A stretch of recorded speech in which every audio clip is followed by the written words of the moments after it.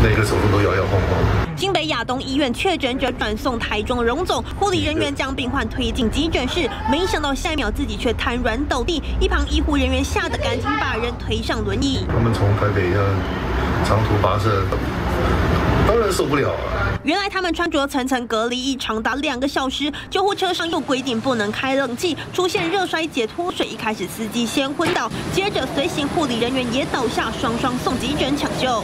救护车司机跟就是啊这位护理人员，他们都出现这个发高烧的情况，就是呃体温都大概超过三十九度以上，那心跳也都一百四十几。然后全身都是冒，就是很多都湿透了，然后就是虚脱这样子。救人的自己先累倒，疫情持续恶化，护理人员负担加重，每天都得穿上防护衣，戴上 N95 口罩，第一层兔宝装，接着两层手套、脚套，最后防水隔离衣。碰上炎热天气，在外执勤根本苦不堪言。